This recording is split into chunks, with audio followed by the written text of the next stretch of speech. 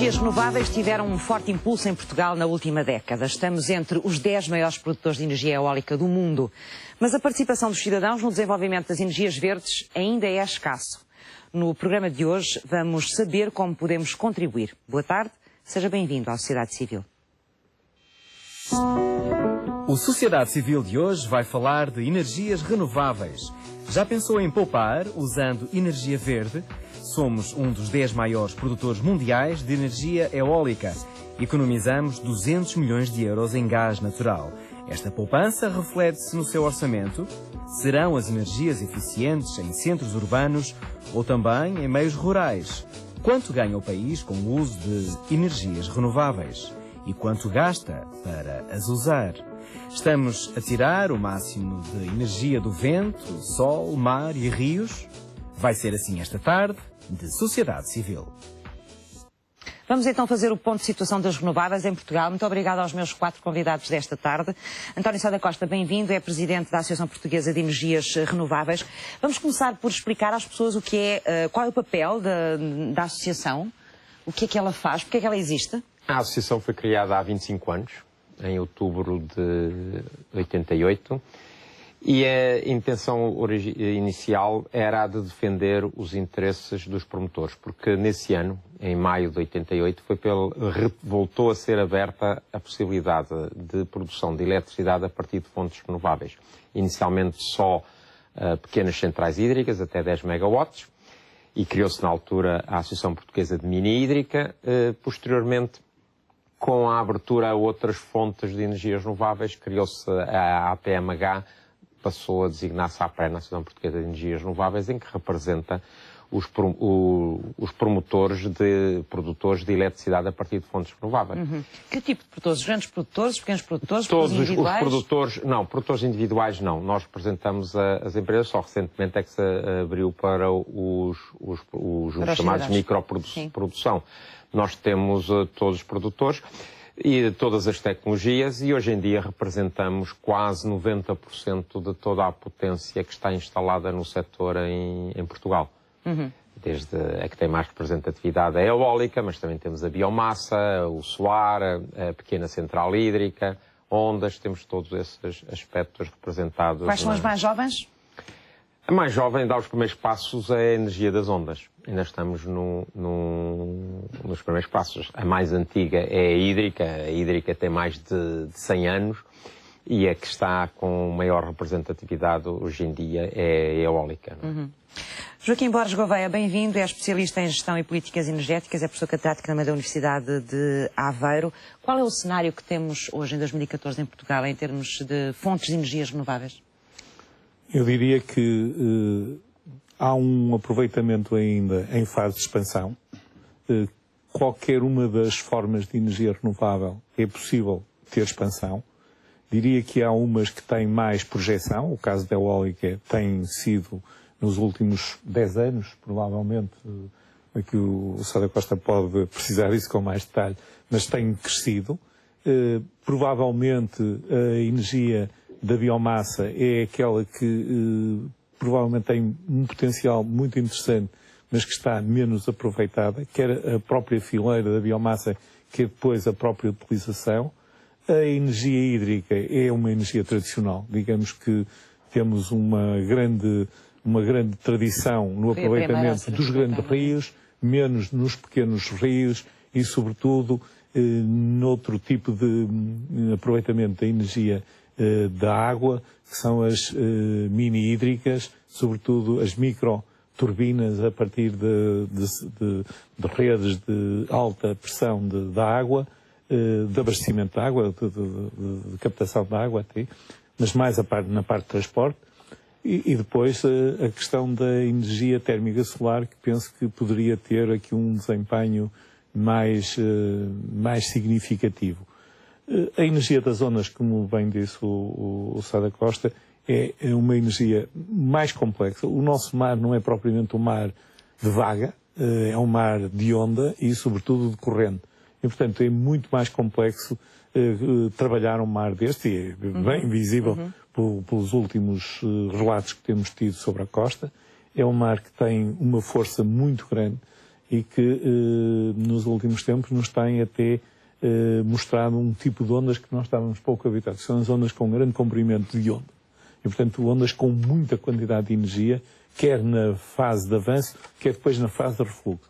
Eu diria que há aqui uma outra questão que eh, muitas das vezes eh, é mal eh, olhada, que é eh, olhar não pela parte dos promotores das energias renováveis. Eu, por acaso, sou um microprodutor, eh, quer de energia eh, fotovoltaica, quer de termo, térmica, e, portanto, há muita é uma necessidade de olhar pelo lado do utilizador, pelo lado do consumidor. Uhum. Vamos, e, ver, vamos, eh, vamos olhar e... por esse lado também já daqui a pouco, Joaquim, mas de uma forma geral o que eu queria perceber era quanto é que representam as energias renováveis neste momento no nosso consumo de energia?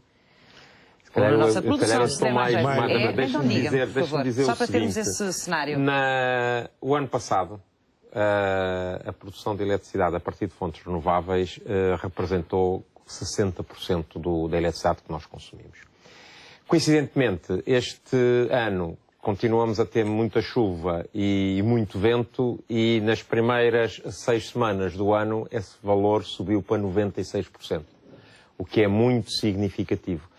Uh, isto uh, traz, uh, para o ponto de vista do consumidor, o que é que é importante para o consumidor? Traz duas coisas. Uma, traz um abaixamento e estabilidade dos preços, portanto, o preço da eletricidade, pelo facto de nós existirmos, vai baixando e fica estável, não tem as flutuações que teria da outra natureza, como também traz economias muito significativas para a, a economia nacional.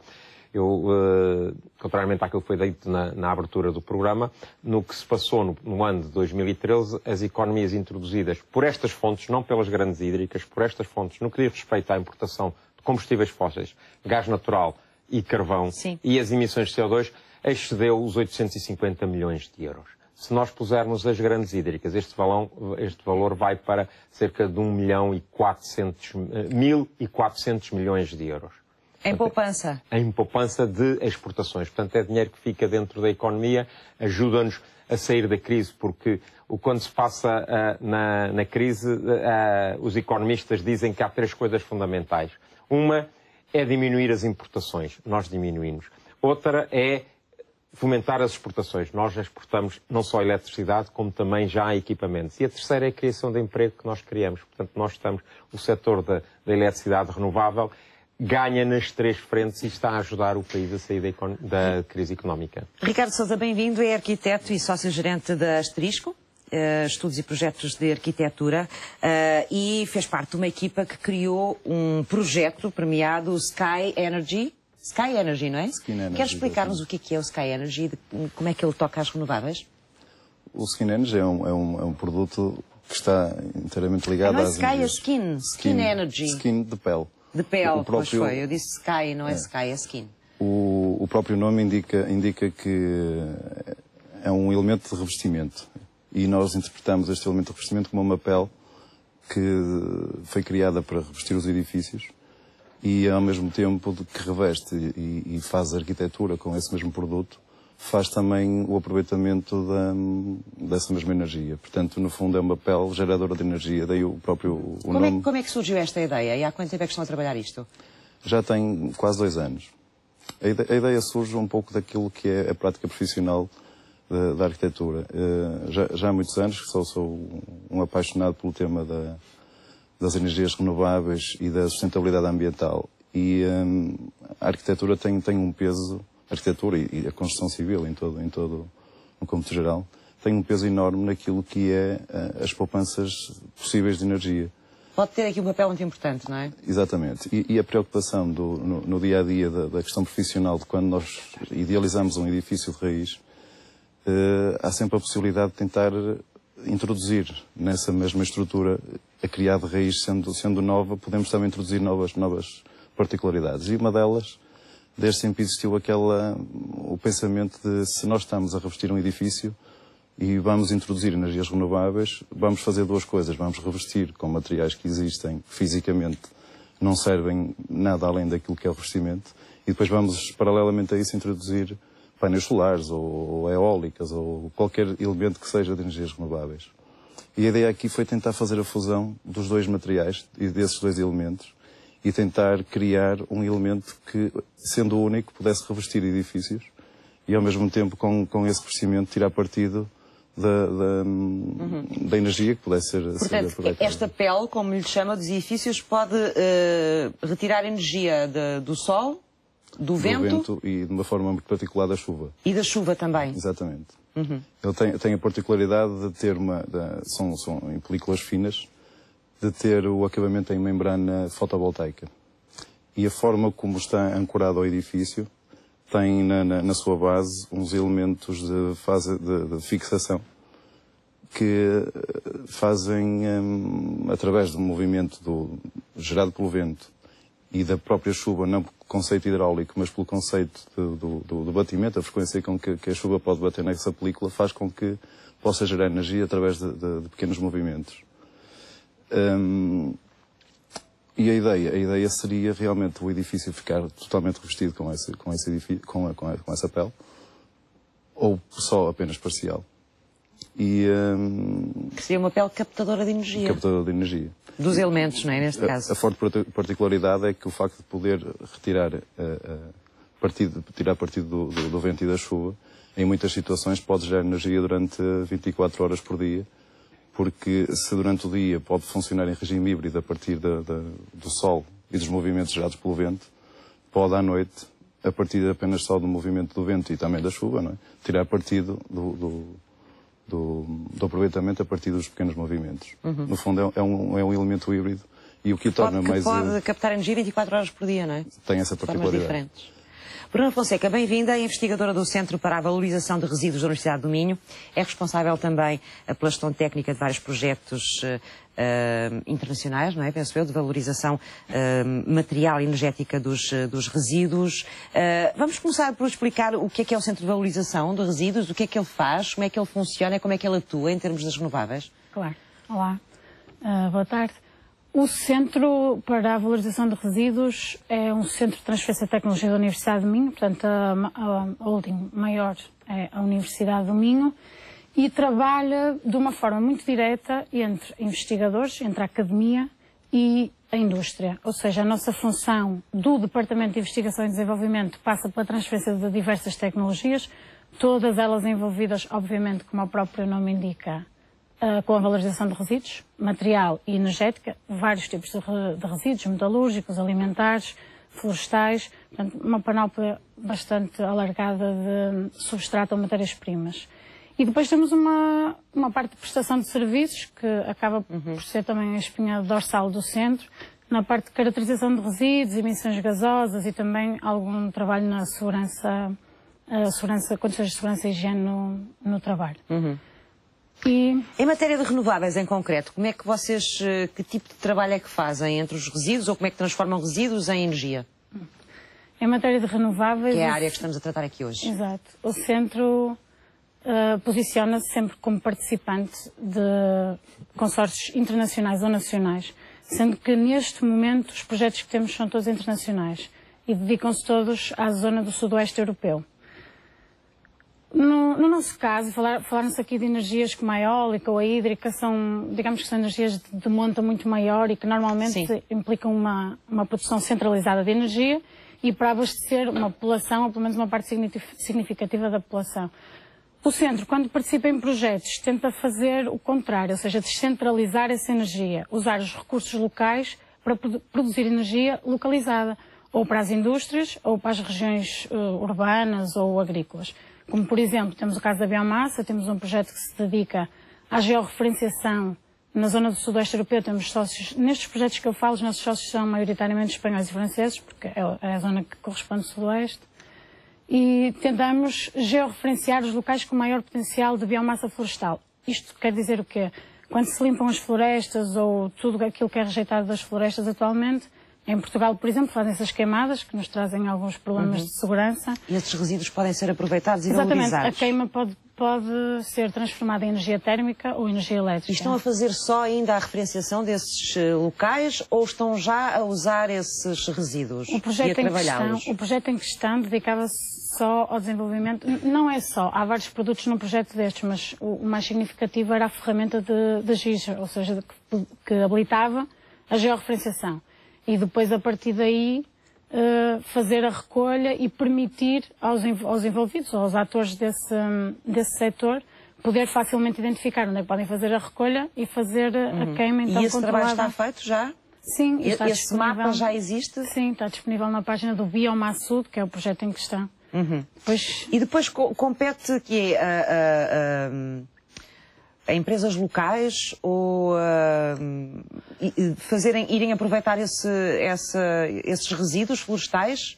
pois, Ou isso- vocês também estão envolvidos depois na parte da recolha? e- Não, não. não, não. O, centro, o centro promove esses projetos que são projetos de disseminação e demonstração. E Sim. depois esses resultados, obviamente, fim do projeto, que tem um financiamento de dois anos, eh, têm que ser aproveitados pelas entidades locais, pelas administrações locais, eh, e dar alguma continuidade aos resultados que vêm desses projetos. Como Nós temos Nós aqui já produzimos muita biomassa em, em- em Portugal. Nós temos um potencial elevado, sim. Temos várias florestas que estão desaproveitadas, mas pelo que eu sei também temos algumas centrais de biomassa e ali o António se calhar... Ele já vai falar delas. Eu queria perceber, dentro que da em- georreferenciação que fizeram, quais foram os locais mais importantes a nível de biomassa que localizaram em Portugal? Ah, Tem ideia? desse projeto em particular, não. Posso Não? falar de, de outros projetos que também envolvem, que também envolvem a valorização de, não de biomassa florestal, mas que a partir até seria o projeto de enfoque que era o agrogás, e aí sim queremos produzir biogás nas regiões hum, rurais para abastecer. Em Portugal? Sim, para abastecer as explorações agrícolas e uma zona onde já identificamos um potencial elevado, por exemplo, foi em Vila do Conde, com a cooperativa, a cooperativa agrícola Vila do Conde. Temos produtores bastante interessados no tema. É um tema é frágil. biogás? Ah, o biogás produz-se desde sempre, porque o biogás como? como? é uma não, é, digestão... não é desde quando? É como? Sim, eu vou explicar porque é que é desde sempre, porque é um processo nativo, é uma digestão anaeróbia. O biogás, em Não sei se as pessoas perceberam lá em casa alguma coisa. eu vou explicar. Em condições de ausência de oxigênio, tendo um substrato, por exemplo, de dejetos animais, eh, alimentos, eh, resíduos verdes, na presença de micro-organismos, bactérias, sim. não é? que são capazes de digerir, ou seja, alimentam-se desses substratos e produzem um gás que se chama biogás, que Biogás, é que pode ser essencialmente metano, CO2 e algum ácido sulfídrico. Uhum. E esse metano é aquele que equivale ao gás natural, que está nas condutas de muitas casas, que é o CH4, Sim. e pode ser então queimado e utilizado para produzir energia térmica e energia elétrica. Uhum. Já produzimos eh, biogás em Portugal, então? Já produz-se uma expressão, muito, infelizmente, muito, muito reduzida, não é? Porque julgo que a instalação de, de fábricas de biogás, do aproveitamento dos, dos resíduos da- das, das explorações pecuárias, quer da, de, É de criação sobretudo de vacas, quer de porcos, quer de, galinhas, é? de frangos, isso poderia ser todos canalizados para a produção de, de biogás com determinada dimensão. E infelizmente não, não é. Mas porquê? Não há quem invista nessa área, é isso? Eh, eu não, quer dizer, talvez o, o Joaquim possa referir isso, Diga, mas, Joaquim, mas eu força. sabe que nós, muitas vezes, eu digo, nós preferimos ter aquelas descargas de biogás que periodicamente vemos na zona da Ribeira dos Remédios, em, em- em- na zona de Leiria, do que estar a fazer o aproveitamento como deve ser. Isto envolve eh, investimento inicial, mas é um investimento que se acaba por pagar a ele próprio. O, o que o professor Joaquim Borges Gouveia tem conhecimento disso e pode referir o que é que se está a passar com aqui na zona de. Gaia, não é? Bem, não há, no mundo da energia há duas formas de olhar para ela. Ou por lado a oferta, que é produzir. Já nos disse isso há pouco. De uma matéria-prima, produzir eletricidade, calor ou frio. São as três formas, mais a mobilidade como nós consumimos energia. Ou então olhar pelo lado do consumidor, do utente, do utilizador. Que é muito o trabalho que faz ali o Centro de Resíduos, como outros projetos, eh, como também faz ali o Ser Arquiteto. Portanto, nós aqui em Gaia temos uma grande experiência de produzir energia elétrica e calor para, com um biogás no aterro da Soldouro aqui eh, nesta zona. Foi um projeto que foi eh, desenvolvido em parceria com a Agência de Energia de Gaia, da qual eu sou, por acaso, presidente. Não é por acaso, porque tendo há uns anos largos, portanto, isto já vem de 98, 99, quando começamos a trabalhar eh, com a, com a Agência de Energia de Gaia, fizemos o primeiro projeto com a, a Soldor e neste momento já estão 6 megawatts instalados, que é uma potência interessante para, nas contas do, do aterro, da Soldor, nesta, nesta zona aqui, eh, teve dois efeitos. Primeiro, porque produzindo eletricidade com, com base em biogás, 6 megawatts já dá uma ordem dos 45% a 55% de rendimento no, no, no orçamento da, da, de, de incomes, portanto, de receitas Sim. da Soldor. E, por outro lado, também teve um efeito que foi eh, reduzir a área eh, impraticável de cheiro e fez com que ehm, a imobiliária se aproximasse do aterro. E estamos a falar na ordem dos 500 metros, portanto não foi tão pouco quanto isso. Portanto, houve uma valorização. Recuperou o ambiente também, não é? Claro, muito, muito significativamente. E esperemos que continue. É um aterro que tem dado bom. Mas há outras experiências para o outro lado. Aqui o que o António disse também. eh, há uma experiência da Universidade de Aveiro, aí são os meus colegas, o Luís Taralho, essa gente que deve conhecer, que tem uma experiência grande com alusiados, portanto, onde aproveitam precisamente o problema da, hum, dos tritos de frango, que são uma quantidade brutal. Eh, na zona centro há muitos, eh, muitos eh, Aviários? aviários e, portanto, há um, já vários ou, digestores, que são as, as maquinetas para produzir isto, eh, com o apoio de uma empresa que também é lá a nossa vizinha da Universidade e que é uma empresa que, sendo uma empresa relativamente pequena, está hoje a dedicar-se à, à- à comercialização de eh, soluções de água quente. eh, já tem uma grande instalação em, em Sória e eh, Com base no biogás? base em biomassa. Ah, em biomassa. A distribuição de água quente em biomassa e, e em França, que tem tido muito mais mercado do que cá. Porque Portanto, falta aqui a procura, ou seja, Não, há a procura- projetos a avançarem, falta, falta a procura por parte, do consumidor. Nós temos é? uma lógica em Portugal que é produzir do lado da oferta para a procura. Fala sempre da energia das grandes empresas, não é? Sim. E, portanto, quando se olha pelo lado do consumidor, é uma coisa que é mais dos países ricos. Não é? Eh, a Dinamarca, a Dinamarca é um Mas país porquê? Estes, fantástico. estes produtos são caros, como este que está a Não, falar. Exige conhecimento. Exige sensibilização. instalação. Uma, a permilagem de pessoas que sabem de energia em Portugal é muito baixa. Exato. Digamos que se É, então, mas eu para ter água quente ah, com base em biomassa preciso de saber muita energia? Não, precisa ter uma empresa que. sensibilizada. Precisa saber que ela Primeiro, estar sensibilizada para isso. Portanto, que é Então, um... mas a empresa também tem que se mostrar, às vezes também é uma E questão. mostra, mostra e tem penetrado no é mercado. questão, às vezes não é só uma questão das empresas se mostrar. Eu vou-lhe falar um. Deixa-me só dar aqui um. Eh, eh, Na minha universidade, a generalidade dos edifícios são pelos melhores arquitetos portugueses, ou dos melhores arquitetos portugueses. Não há lá nenhum que falte, provavelmente, a não ser dos mais novos. Bem, a qualidade térmica e, eh, já não falo da acústica, mas a qualidade térmica dos edifícios não os qualifica entre A e B. Porque não houve cuidado no desenvolvimento do projeto, aquilo que o arquiteto falou, que é um, um cuidado com o conforto da energia e também da reverberação. Que há salas onde a gente não pode dar aula porque o eco é de tal forma grande que nos atrapalha. Mas, enfim, eh, no ponto de vista térmico, não houve ou não havia nessa altura, em Portugal, esta predisposição dada dos edifícios, do- da arquitetura, de- da construção civil para estes problemas. Claro que isso foi... Falta-nos sensibilização e informação Mas agora sobre já temos matérias, é muito isso? construído. E, portanto, agora tirar este problema é muito mais caro. É muito mais caro. Porque a reabilitação energética, e tem ali o exemplo de Vila Veste, com a reabilitação energética que se fez, reduziram-se brutalmente os consumos. Porque senão não havia o payback e não havia o investimento que ali foi feito, porque o projeto não era aprovado. Mas, de qualquer forma, foi preciso ter sido feito depois. Portanto, é vestir um edifício uma segunda vez. E depois, quais são os hábitos de utilização normal de energia que o cidadão normal tem? Não consegue perceber que eh, na água está embebido muita energia. Quando se deita um restos de comida fora, está ali muita quantidade de energia que vai pela banca fora, se quiser, para os resíduos. Porque um quilo de arroz, na sua, até chegar à nossa mesa, são muitas toneladas de água.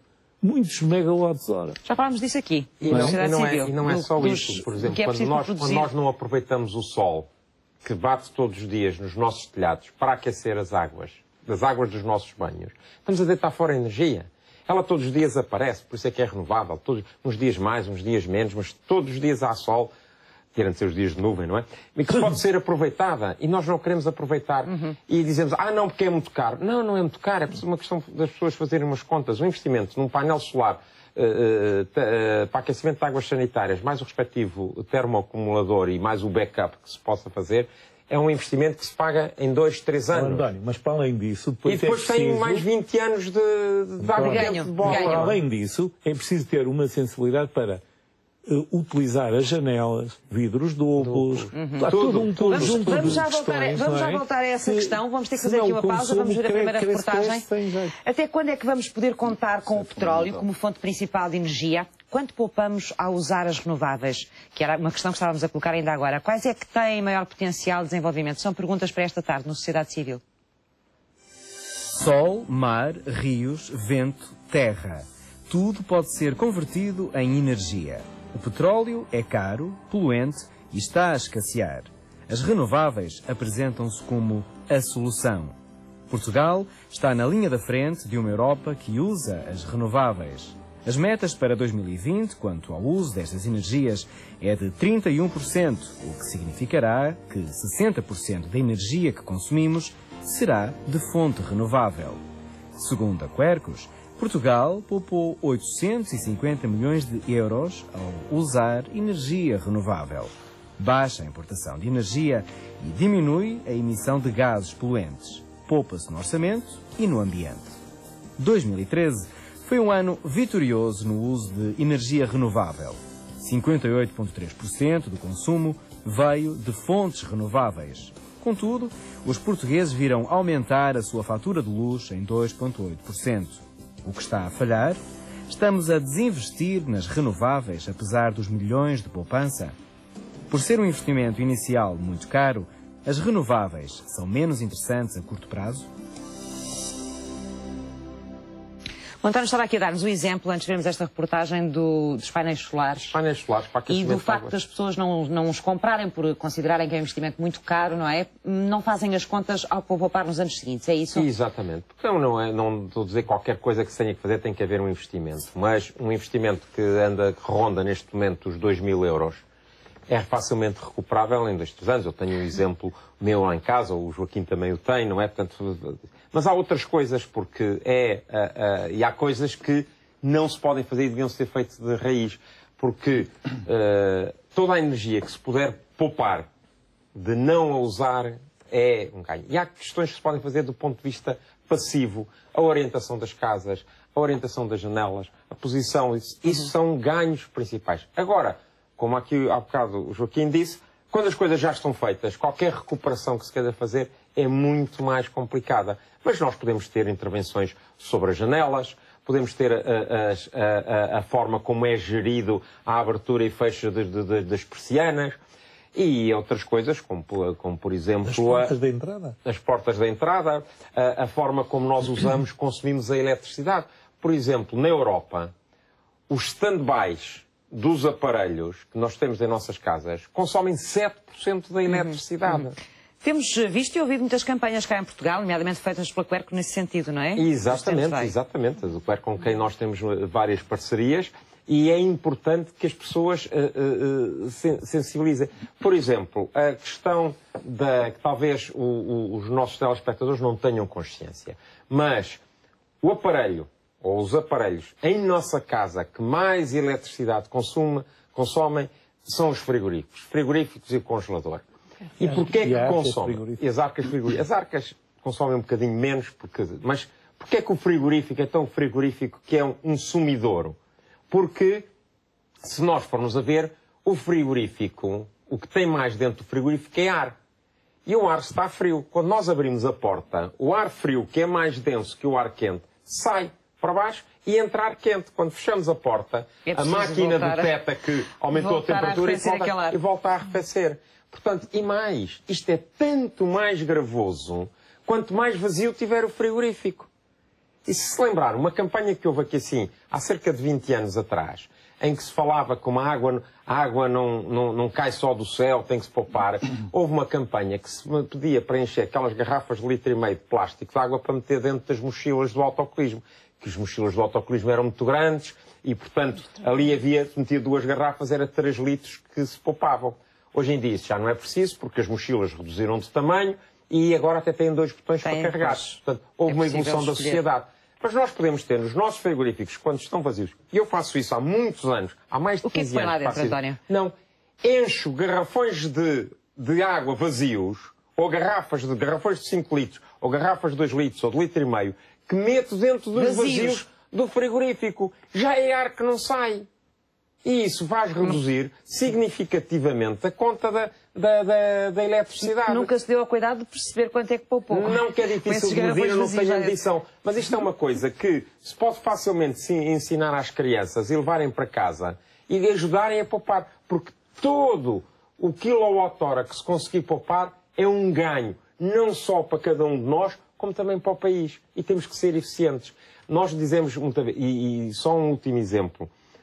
Os alemães são dos povos que mais painéis solares têm por habitante. E a insolação na Alemanha é metade da, nossa. portuguesa. E nós o porquê? E porquê é que eles fazem isso? Porque eles são ricos, têm que aproveitar o pouco que têm. Nós, como somos pobres, podemos desperdiçar tudo o que temos. E, e temos uma política, uma maneira de estar na sociedade, no que diz respeito à nossa. portuguesa. E nós o porquê? E porquê é que eles fazem isso? Porque eles são ricos, têm que aproveitar o pouco que têm. Nós, como somos pobres, podemos desperdiçar tudo o que temos. E, e temos uma política, uma maneira de estar na sociedade, no que diz respeito à energia, e às vezes noutras coisas também, mas aqui estamos a falar de energia, de desperdiçar aquilo que a natureza nos dá. Ricardo, qual é a sua opinião? Estamos pouco sensibilizados ainda para estas questões, eh, e nomeadamente na, na sua profissão, porque já ouvimos aqui o Joaquim e o António a falarem eh, dos edifícios, da forma como eles são concebidos, da forma como eles são eh, trabalhados para terem mais luz ou menos luz, neste caso muitas vezes menos luz. Ahm, a esse nível, na sua área, já há sensibilidade suficiente para estas matérias? Vai-se fazendo algum caminho? Qual é a sua opinião? Existe, existe alguma sensibilidade, mas ainda muito pouca. E muito pouca ainda, mesmo naquilo que toca à área da arquitetura, no ensino da arquitetura. Ainda não é um, o, o ensino não está capacitado, e mesmo na- na- na- nas diversas engenharias, ainda não está capacitado para que em todos os anos de ensino seja, seja culturalmente definida o tema, o tema da, da sustentabilidade ambiental como sendo uma, uma- um tema dos nossos dias. Ainda é encarado um pouco como um luxo.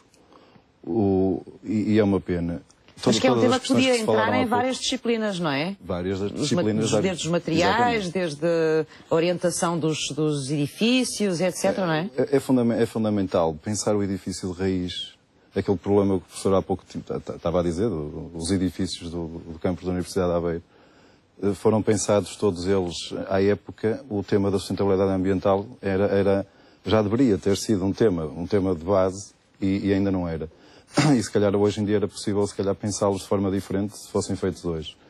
Mas, eh, para grande parte das pessoas, o tema da sustentabilidade ambiental ainda é um tema, é um tema de elites quando deveria ser de senso comum, porque eh, os, nossos, os nossos edifícios, basicamente tudo aquilo que é massa construída em todo o mundo, é talvez a, a fonte, se calhar o professor é sabe, sabe esses dados melhor do que eu, é talvez a fonte de maior gasto de energia que pode existir, é tudo o que deriva daquilo que são os edifícios. Portanto, se os edifícios forem mal pensados, estruturados, automaticamente temos maior gasto. Portanto, aí teremos que ir buscar novamente mai- maior fontes de, de- de energia. Se eles forem bem pensados naquilo que é a proteção passiva do edifício, só, só na proteção passiva já existe um ganho gigantesco, porque a orientação solar, o facto de controlar as aberturas, controlar a forma do escurecimento, a ventilação, há, há- há certas coisas que sem gastar dinheiro numa construção nova não acrescenta custo rigorosamente nenhum à construção o, o consumo depois energético durante toda a vida útil do edifício é um consumo que se vai fazer notar no dia a dia. Portanto, é uma questão de sensibilidade e de conhecimento. E de conhecimento. Era fundamental que isso fizesse parte da formação do- dos Mas, profissionais, e, é não isso? só, e não só da formação dos profissionais que, que exercem a arquitetura e a, e a- e a- engenharia. Eh, existe também muito, muito, muitas das vezes a parte do cliente. A, a- a sociedade civil atual ainda não está, não está sensibilizada ao ponto de perceber que existem ganhos que são ganhos, como a questão dos painéis solares, por exemplo, aquecimento, de- os, solares térmicos. são, são, são gastos que existem realmente. Assusta, inicialmente assusta aquela ideia de gastar 2 mil euros, mas, por exemplo, há muitos exemplos desses no dia a dia. A pessoa custa gastar 2 mil euros para, para, um, para, um, para um sistema de aquecimento solar eh, das águas sanitárias, mas se calhar não custa tanto gastar 2 mil euros num sofá. Enquanto que, que na, na, arquitetura isso tem, isso tem um peso, um peso gigantesco. O conceito, de conforto, o, conforto, o conceito de conforto é muito diverso. Nós estamos aqui a falar de uma coisa que é, eh, quando se faz um investimento, eu sei quanto é que investi, fiz as contas, aliás usei aquilo, porque, por acaso hoje na minha aula, eu hoje dei aula logo das nove até ir para aqui, e foi sobre sustentabilidade, inovação e sustentabilidade. O que é este conceito de sustentabilidade? Ora, eu vou-lhe dizer uma coisa, o que mais me preocupa não é dar isto nas universidades, é como é que nas escolas primárias o ensino da física foi tão desleixado. E cada vez está mais. Aqui agora o desleixo, nos últimos 5, 10 anos, é pior do que era há 10 anos atrás. E a, e a desmotivação dos professores é de tal forma que nós vamos pagar isto com língua de gato. Porquê é que no norte da Europa ninguém tem caixas com persianas? Aqui o Sr. Arquiteto pode explicar isso. Não, não, não há este conceito.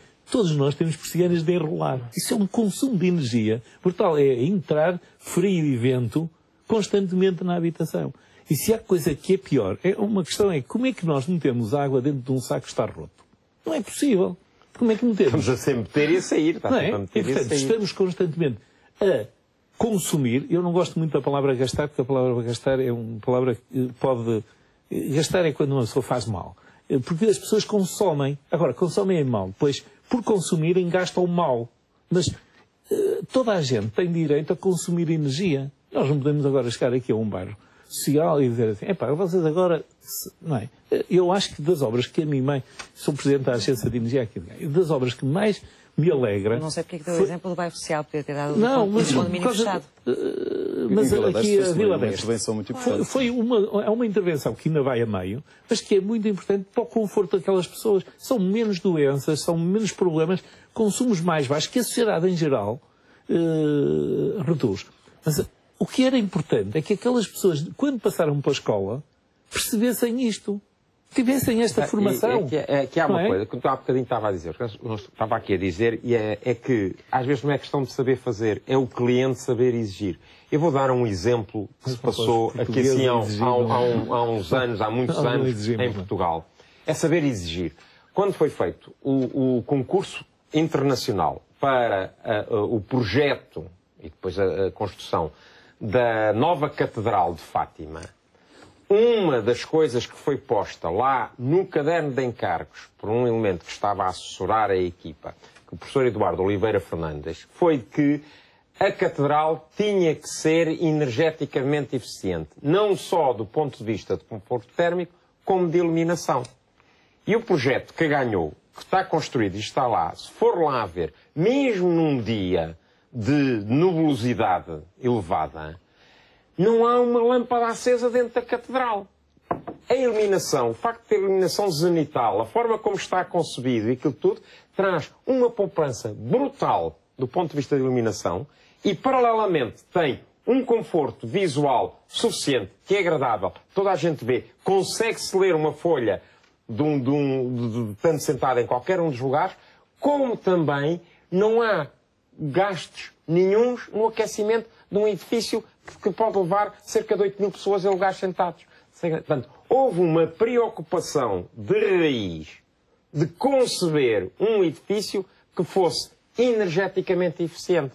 E do ponto de vista estético, é extremamente agradável e muito simples de fazer. Portanto, é um aspecto em que um investimento em conceber, em trabalhar à partida, traz um efeito de economia, de recursos brutal na fase de exploração. E é isto que nós não estamos a Mas hoje, hoje em dia há sistemas, desculpe, há, hoje em dia há sistemas de certificação energética para edifícios, claro, que é o BRIM, que obrigam a isto. E há edifícios aqui já construídos, Exatamente. nós temos várias escolas aqui em Haia que já estão assim. Há um edifício da SONAI, que é um uhum. edifício BRIM, é não é? que é paradigmático, que uh, tem Ainda agora se aprovou. Provavelmente uma... o discurso não foi feito ainda, muitas vezes, do lado que devia ter sido feito, que é convencer as pessoas das vantagens. Isto tem que ser na escola. Eu não sei se. É impossível explicar Os às miúdos minhas aprendem netas... algumas coisas sobre as renováveis, Eh, nomeadamente na- na- no tem primeiro que ser mais ciclo, logo. E tem que ser mais ciências. experimental. O que não é experimental E tem que não ser mais fica corrente a a informação também. é? É, é muito engraçado perceber que as gerações mais novas obrigam os mais velhos a fazer a, reciclagem, a- a separação. a separação do lixo. Não é? E vejo que houve as um investimento muito grande, na sensibilização das crianças para mais crianças perceberam. Exatamente. perceberam o que se ganhavam. E muitas vezes, e nas questões da energia, não estou a dizer que são fáceis. Se fossem fáceis já estava feito. Pois. É porque, enquanto que é muito fácil dizer a uma criança que eu tenho uma maçã e junto-lhe uma maçã e fico com duas maçãs, eu se pegar num quilowatt-hora e juntar-lhe outro quilowatt-hora, o produto final Um não são elétrico dois quilowatt-. Um elétrico e um térmico não, não, Não fica, não é? Tem que ser uma experiência. Tem que ser uma experiência, tem que ser, ter a vivência, não é? Tem que se perceber. E não é fácil. E não é fácil. E, portanto, isso vai obrigar a que haja programas que já. E não, não é preciso inventar a roda. Faz-se no norte da Europa. Programas Os que, suecos os que os suecos e os dinamarqueses têm isso. Programas Que aí. incentivem as que- pessoas a usarem as tecnologias. formação aos professores nós- que depois têm que motivar Nós temos aí uma empresa que crianças. faz brinquedos desse, que é Science for You. Tem brinquedos giríssimos para ensinar as crianças a fazer estas coisas. E infelizmente vendem Agora, pouco. as escolas, com as cortes de verbas, as chatices sobre os professores, a malta nem quer ir para o laboratório. Bruna, ia acrescentar qualquer coisa, diga. Claro, porque normalmente esse tipo de recurso está associado a um investimento que a maioria das pessoas não pode fazer. Exato. Não é? Nós não temos todos a mesma condição económica. Falava dos painéis solares, eu percebo, mas nós não temos Estão essa aí capacidade de investir. Exatamente, não temos essa prédios. capacidade de investir. Mas as pessoas não têm a capacidade de investir atualmente 2 mil euros num painel solar, Mas se mesmo que calhar podem investir próximos 10 anos- mil euros numa televisão. Mas não estamos a falar do mesmo mercado. Ainda Nós estamos existe- a falar do mesmo um mercado, não é? um Porque, pouco. por Não norma, o que acontece agora é que quem investe 10 mil euros numa televisão também investe 2 mil euros num painel. Não é investe, o que acontece. não. Agora, nós temos é que. Há mais televisões Nós temos 10 é que fomentar medidas que vão apoiar o grosso da população, não é? E.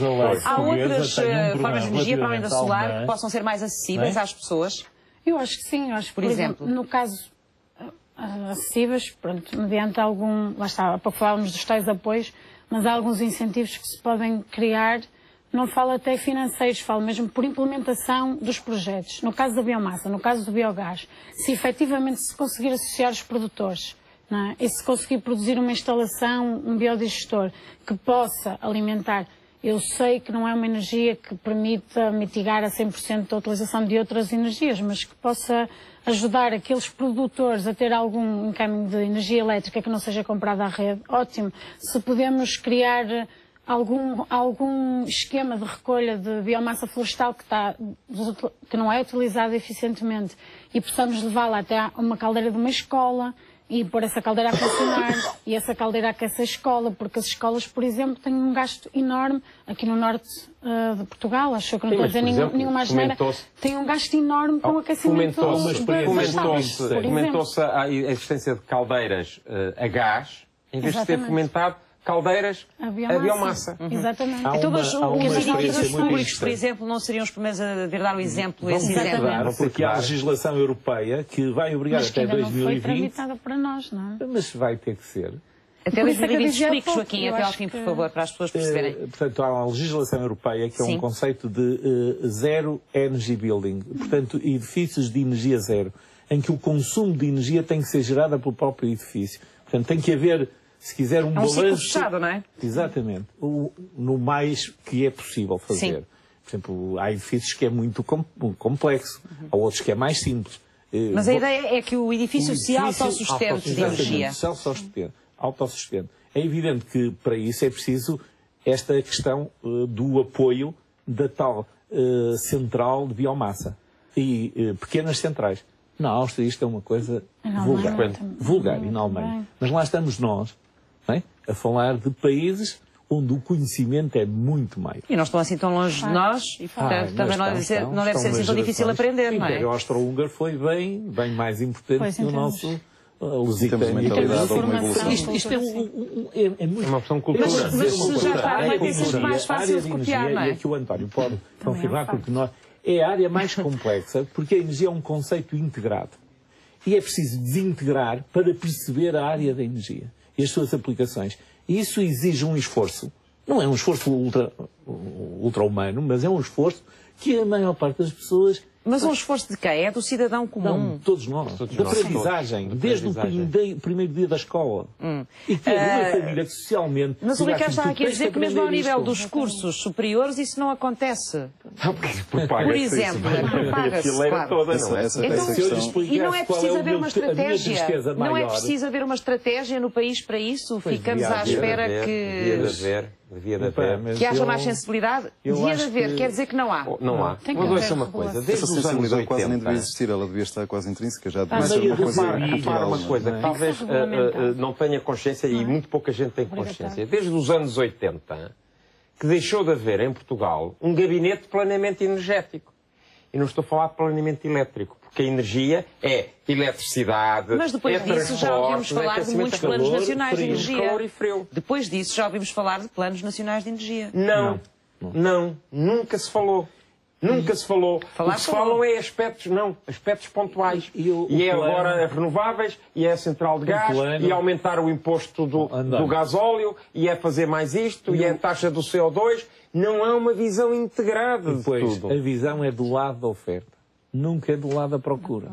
Hoje o mundo moderno. Mas como é que pode haver uma visão moderno, integrada do lado da procura? digital, Cada cidadão é um cidadão, Não. individualmente. Não. Como é que é? Como é que não, se do faz lado da procura definem-se Quando os políticas apoios estão para por trás financeiros, a coisa... Na Dinamarca há um programa. São sempre definidas uh, uh, politicamente, não é? Essas. Mas, mas pen- pensadas do lado da procura. Procura. E eu vou dizer, em Portugal, eu, quando fui para a Universidade de Aveiro, uma das coisas que foi a minha condição para lá ir, eu estive 27 anos na Universidade de Porto, foi poder montar um curso, um mestrado, que é Sistemas Energéticos Sustentáveis, visto do lado da procura, com a integração das várias energias. Ambiente, sustentabilidade, eletricidade e térmicas. E ainda não houve mais nenhum. Porque em cada faculdade de engenharia tudo está tão repartido, tudo é tão difícil as pessoas conversarem umas com as outras, mas é muito difícil. Mas deixe-me dar um exemplo como se pode gerir do lado da muito- procura. Muito bem. É uma Último questão, exemplo, uma uma questão pausa. da, da, da eletricidade, da chamada tarifa biorária. A energia elétrica que nós compramos, compramos de manhã, de tarde ou à noite, é sempre a mesma coisa. Tem a preços diferentes. E se eu puder lavar a roupa na máquina, em vez de ser à uma da tarde, puder ser às 11 da noite, gasta a mesma eletricidade. Já existe, vão- não é? Os- os- mas agora veja, veja quantas pessoas... até, acho Sim, já. exato. Não, triorários não é, Não para, há? não é para o doméstico, Não é para o é doméstico? não é para o doméstico, é para o industrial. Mas veja, só menos de 10%, talvez 12% no máximo, de- dos consumidores de eletricidade é que têm tarifa biorária. Porquê? Porquê é que os outros não querem?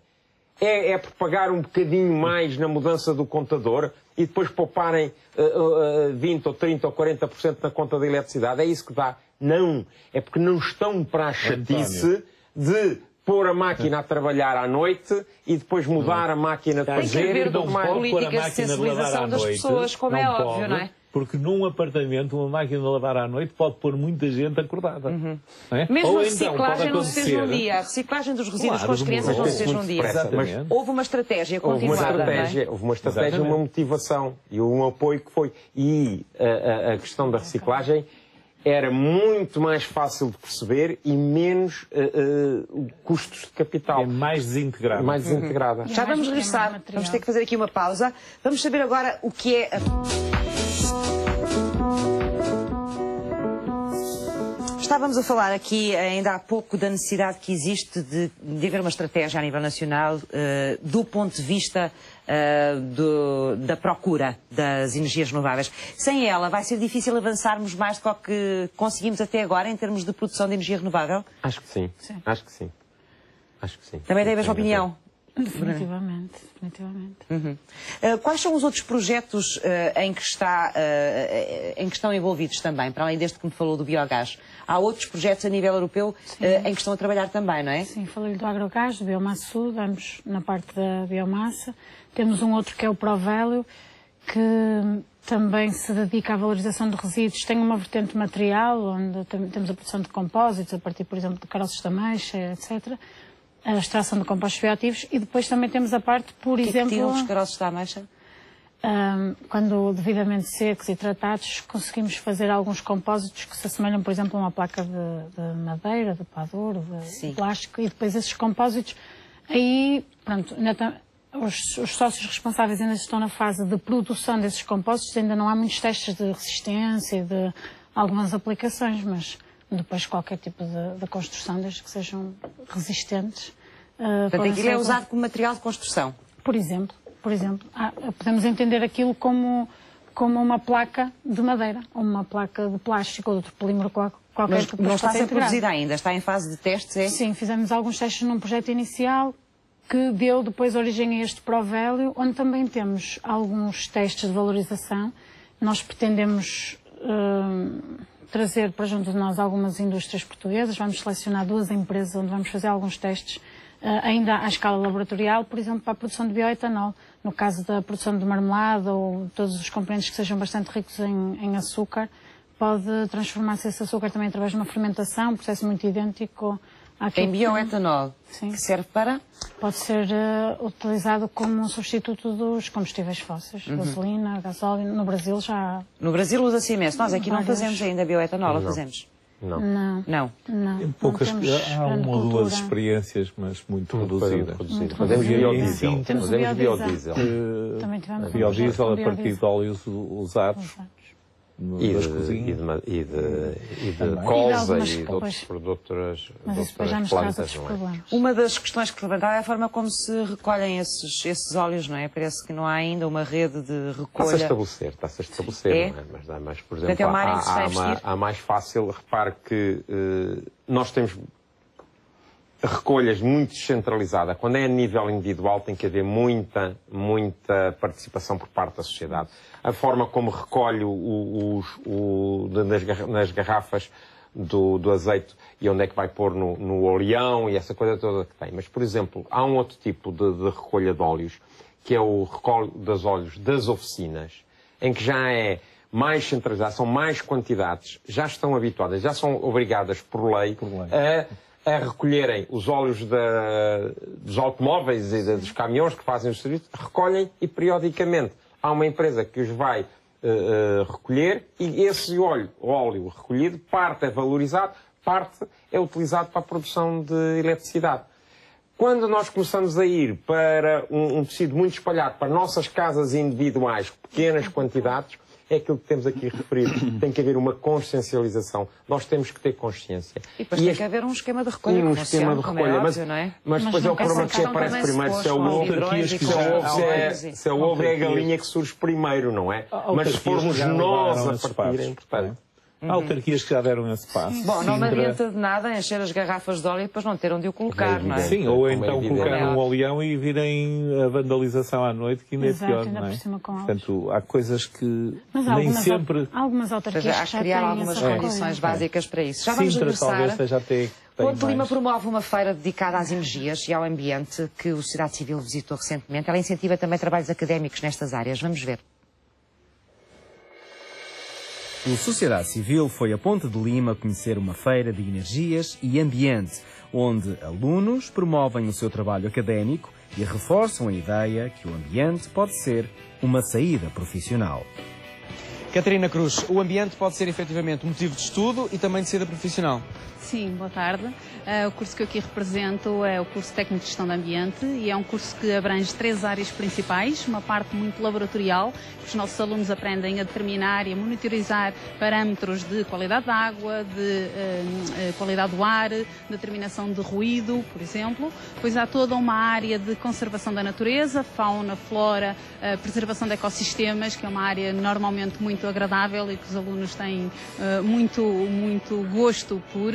E depois toda uma área de ordenamento do território, em que eles fazem muita cartografia e saem com uma formação em sistemas de informação geográfica. Como é um curso muito vasto, é um curso que tem, abrange várias áreas, eu acho que é um mercado de trabalho muito, muito uh, aliciante e muito interessante para estes alunos. Rita, vou interromper a tua concentração. Ora viva! Quando se fala em ambiente, renováveis, sustentabilidade, queres que a tua vida passe por aí? Por proteger a natureza acima de tudo, cuidar dos, recursos que temos e o ambiente, o contacto dos animais com a natureza é sempre bom. Achas que esse também pode ser uh, o teu trabalho, a tua, uh, o teu futuro? Sim, espero que sim. Possa ser ligado ao ambiente, aos animais, muito à fauna e à flora. César Brito, quando nós falamos de energia renovável, eh, o curso, o vosso curso tem um papel fundamental. Tem, instalações elétricas é um curso genérico de instalações elétricas, mas naturalmente que nos tempos que correm as energias renováveis são um fator importante na formação dos nossos alunos. Tanto que, eh, se reparar, eh, as maquetes que trazemos aqui e os trabalhos que eles inclusive têm desenvolvido em termos de concurso, estou-me a lembrar particularmente do Fab Lab, um concurso da EDP, têm todos a ver com aproveitamento, com microgeração de energia através do aproveitamento de fontes renováveis para além da validade das fontes renováveis no nosso país, e nós estamos bem uh, nesse sentido, também pode, podem elas serem criadoras de, de emprego para, para, os mais novos que estão a estudar. Essa é uma preocupação que nós temos no nosso curso, a empregabilidade dos nossos alunos. Uh, portanto, temos empresas de produção uh, de materiais ligados às energias renováveis, particularmente às eólicas. Portanto, este é um mercado potencial de emprego para os nossos alunos, daí também a, a, a importância que nós damos a esse fator. As renováveis podem ser um dia, quem sabe, a tua porta de saída a nível de trabalho? Uh, espero que sim, é uma área que toda, todos os alunos do nosso curso deveriam apostar. Tendo em conta as necessidades do país hoje em dia, as energias renováveis são das melhores opções que podemos ter. O crescimento verde é uma aposta do país e o incentivo académico nestas áreas é um forte contributo para a poupança na energia e sustentabilidade do território nacional. Ricardo, vamos voltar ao Skin Energy, ao vosso projeto que estão a trabalhar. Em que ponto é que ele está nesta altura? Nós neste momento estamos a, já a desenvolver a parte de investigação e, e uh, com, com perceber os melhores materiais e as melhores, as melhores formas de executar o projeto. Nós temos uma parceria de, de investigação e desenvolvimento com a Universidade do Minho, uhum. com os laboratórios de, de, Física. E é lá que trabalham? E é com eles, é, é lá em paralelo com, com, com, com, com o escritório. Nós criamos uma empresa que foi feita de raiz para gerir este projeto. E, e não só, este projeto deu já origem a outras uh, ideias que não derivam exatamente do Skin Energy, mas que serão coisas novas. Nós temos o Skin Energy neste momento, estamos com, com à procura de, de investimento. Mas percebemos que é, que é bastante difícil, né? Na, no nosso país e muito mais neste, neste momento em que se atravessa. Uhum. Mas, primeiro, o que é que vocês estão a fazer nesta altura? Ainda estão a testá-lo, ainda estão a, sim, a testar sim. estes materiais? Estamos a fazer a parte, a parte de provas de conceito, tentar perceber os melhores materiais, os mais, os mais eficientes e os, os que mais se, se, enquadram naquilo que é o que temos como objetividade o, o produto no uhum. final. E estamos na busca desses, desses materiais e na, na tentativa de buscar os, os, dados energéticos que nós, nós uhum. temos. E para, essa, para esta fase da vossa investigação precisavam de apoio já? Sim, nós temos uma, uma, uma parte já apoiada pelo, pelo, pelo CREN. Só que para cobrir o, o investimento total temos, temos a necessidade de recorrer a, investimento, a investimento privado.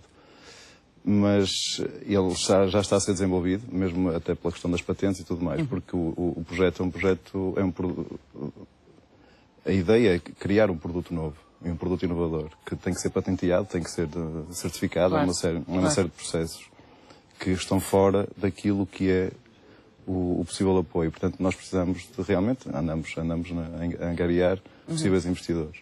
Mas, ao mesmo tempo, nós criamos a empresa que, que ficou com, com, o mesmo nome do, do, do, produto porque nós percebemos claramente que o, o mercado das energias renováveis é, é, é, minúsculo. Apesar de se falar muito, nós temos que perceber que realmente eu acredito nisso. Pelo menos que daqui a 50 anos tudo aquilo que nós estamos a ver agora que é inovador e que é, que é realmente importante, certamente vão surgir, vão surgir eh, elementos de energias renováveis, se calhar tão básicos que nós nunca vamos pensar, bem, isto, isto se calhar era fácil de fazer já há muito tempo. E a empresa Skin Energy que foi criada recentemente, foi, foi criada um pouco no sentido de fazer essa, essa, um pouco dessa investigação, consultadoria a, a empresas e particulares, na tentativa de procurar aquilo que é hum, as necessidades de cada um, mesmo do existente a remodelar uhum. ou daquilo que vai ser feito de raiz. E procurar respostas depois e procurar respostas. E, e, e já, já, já, temos um segundo projeto, além deste, desta pele. Já existe uma, mas, mas ainda, está, ainda está muito crua, nem sequer está... Está embrionária ainda. ainda. Está embrionária, mas, mas tem, tem, tem um forte potencial. Uhum. Tem forte potencial. Uh, é portanto, aqui neste que... caso, vocês precisavam de quanto de investimento para, para levar isto adiante? Estamos na, na expectativa de tentar uns 200 mil euros. Uhum. 200 mil euros? 200 mil euros. E não conseguiram investidores em Portugal?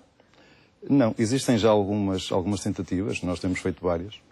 Temos feito, dizia várias, dizia muitas, muitas tentativas e existem algumas, algumas ideias no ar, sem certezas absolutas. Portanto, estamos, este, este é o momento mesmo que, que, estamos, que estamos a batalhar nisso e estamos ainda com algumas incertezas daquilo que são respostas de alguns possíveis investidores. Uhum. Portanto, não podemos dizer que temos portas fechadas nem abertas, mas algumas estão entreabertas neste momento. Mas porque há pouca sensibilidade a este tipo ainda de uh, projetos, é isso? E, não, já existem, já existem muitas, tanto entidades como empresas particulares, que têm alguma sensibilidade para isso. Ao mesmo tempo, eu julgo que sentem muito medo do, do momento atual de fazer investimentos em coisas que nós percebemos claramente. O Skin Energy, neste caso, é um, um produto muito particular porque está o facto de o ser inovador cria uma maior desconfiança do mercado. E, e, e pelo, pelo, pelo, facto de nós ainda não termos um produto palpável, gera ainda maior desconfiança. Portanto, o possível investidor tem que acreditar muito e tem que perceber muito a fundo aquilo que estamos a falar. Uhum. E, e, o momento atual, eu penso que o momento atual da chamada crise, que eu não gosto de usar o nome, mas, mas o que é certo é que ela existe, uh, coloca, coloca um stand-by em algumas dessas possibilidades. Uhum. E, no fundo, estamos a, a, ser um pouco sacrificados, entre aspas, deste, deste momento atual. Vamos ver se corre bem. Vai correr com certeza. Uma das questões que levantámos aqui no programa logo no início é esta, precisamente. Até que ponto é que nós vamos poder continuar a ter petróleo e até quando como uh, fonte de energia principal? O petróleo hoje em dia já não, é, já não é a fonte de energia principal, já há outras. Mas, uh, Qual é a principal então? Neste momento, talvez seja o gás natural fonte de energia deve ser o gás natural. Mais do que o petróleo. Mais do que o petróleo. E o carvão já ultrapassou o petróleo também. E mais perspectiva-se um grande crescimento, crescimento do, gás do, gás natural. Mas atenção, que eu costumo dizer, a idade do petróleo não vai acabar por falta de petróleo. Da mesma forma que a idade da pedra não acabou por falta de pedra. Há uma mudança do paradigma tecnológico. A seguir à idade da pedra veio a idade dos metais. Portanto, houve uma evolução. E nós estamos a evoluir. Uh, o mundo, os humanos estão a evoluir e já perceberam as limitações que têm uh, uh, os combustíveis fósseis e as vantagens que têm. Agora, estamos em condições tecnológicas para dar um passo. Isto vai, vai, vai havendo mudanças graduais, mas depois há saltos. Repare, o, o, os dois saltos que nós assistimos na, uh, recentemente nas nossas vidas, que mudaram completamente as nossas vidas, é foram um que diz respeito à, aos telemóveis, às telecomunicações, e outro que diz respeito à internet. Mudou completamente a nossa. E isto foi um processo que foram fermentando devagarinho e depois houve uma altura que deu o salto e rapidamente começou-se a, a, haver uma comercialização e uma expansão do sistema. Nos sistemas energéticos Não, que estão desculpa. impregnados em tudo, é muito mais difícil de haver isto. Mas está-se a trabalhar. Estamos nessa fase de transformação. Um dia, Portanto. É, é, é, aquilo, aquilo que, o, que o Ricardo, uh, o projeto do Ricardo, os projetos que a Bruna tem, tem estado a referir, que tudo o que fez a Energaia, todas essas coisas vão numa mesma linha e que estão, ao pouco e pouco, ainda a construir uma nova realidade. Uma nova realidade em que a sociedade vai consumir menos energia, vai ter mais eficiência no consumo, vai ter mais exigências e maior conforto. Portanto, nós estamos a melhorar os níveis, os padrões de qualidade do ponto de vista de utilização pessoal, mas também estamos, do ponto de vista físico, a melhorar e a mudar. E temos que ter presente que queremos que o planeta continue, que não se extinga connosco, não é? Para os nossos filhos, para os nossos netos, para os nossos bisnetos. Não é? o, o, aqui uma coisa que é muito importante entendermos. Um, a indústria do petróleo se há coisa que queira, é gastar petróleo em, o menos possível em produtos de baixo valor acrescentado. A indústria química, petroquímica, refinarias, tudo isso tem desenvolvido nos últimos anos produtos brutais, de coisas muito mais avançadas. Portanto, a própria mobilidade vai ter um salto significativo com um outro tipo de tração quer seja a tração elétrica, quer seja a tração mesmo a gás natural, ou até a, a gasolina e gasóleo, onde hoje os motores têm muito mais potência e consumos muito mais baixos, não é? Portanto, todas estas questões uh, estão muito por aí. E depois há uma outra questão que eu penso que esta vai ser ainda mais interessante, que é a quantidade de viagens que nós vamos deixar de ter que fazer pelos meios que a digitalização vai impor. Eu estou a desenvolver agora um projeto que assim, estou um bocado no fim de vida e, portanto, posso na universidade. Portanto, tivemos uma, eh, fazer... uma fase de grande movimentação, não é? Íamos para todo lado e agora vamos voltar a ficar não, mais. Vamos poder estar onde estamos, tendo uma mobilidade muito maior. Imagine o que é a sala de Estado do futuro. Mobilidade em termos de comunicação. Em não física, termos, não é? Mais do que comunicação, em termos de uh, partilha do conhecimento. Que esse aqui, se nós partilharmos mais o conhecimento, uhum. nós provavelmente vamos conseguir criar vão mais se valor. mover menos e o conhecimento vai se mover mais. E eu acho que vai ter este conceito. Gente que cresce, coopera. E para cooperar é preciso partilhar o conhecimento e podermos estar onde estamos, confortavelmente, e trabalhar com toda a gente.